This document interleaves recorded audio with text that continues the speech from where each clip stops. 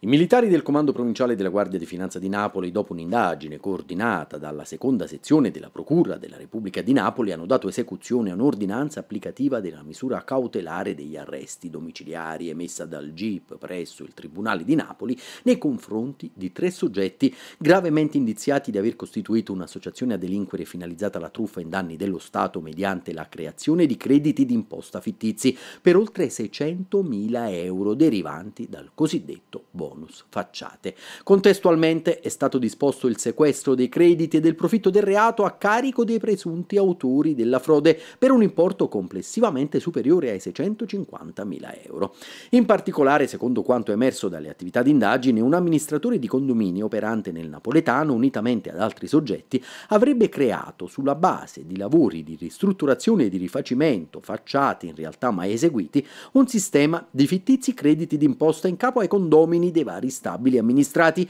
che poi sarebbero stati ceduti agli indagati o a società ai medesimi riconducibili. Tali fittizi crediti d'imposta sarebbero stati in parte convertiti in denaro attraverso la cessione ad operatori finanziari e in parte utilizzati per indebite compensazioni d'imposta con corrispondente danno per l'erario.